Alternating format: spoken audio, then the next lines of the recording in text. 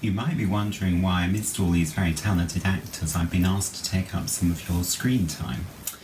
I saw my first Mikron show, it was Rise and Fall, and it was on the 26th of July 1989, um, when I was much younger than I am now.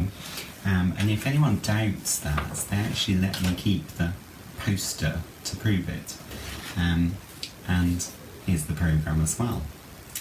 And since the 26th of July 1989, there have of course been many other shows and of course uh, many other programmes, of which here are just a few of them.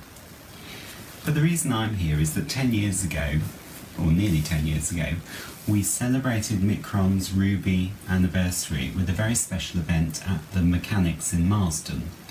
And for that event, I put together a medley of Mikron songs from what was then the past 40 years. So here I am, 10 years on, 10 years older, see whether I can still play that medley. And I wonder whether you recognise one or two of the popular Mikron tunes amidst them.